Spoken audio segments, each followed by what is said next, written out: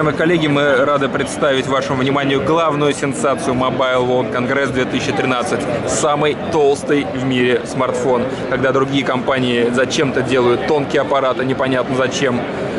Корпорация Qualcomm показала прототип самого толстого в мире аппарата. Его вы никогда не потеряете, ни в кармане, ни в, ру- ну, нигде вы его не потеряете. Ни Вы- на улице, Даже в китайском джипе. Обратите внимание, какая разница в толщине.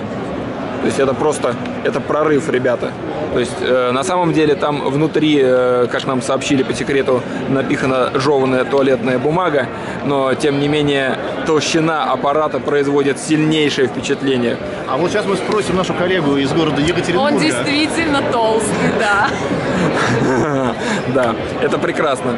Нет, на самом деле, я думаю, что вот именно такие смартфоны, именно такой толщины, порядка полутора сантиметров, станут главным трендом 2013 года, потому что многим приятно подержать что-то толстое в руке.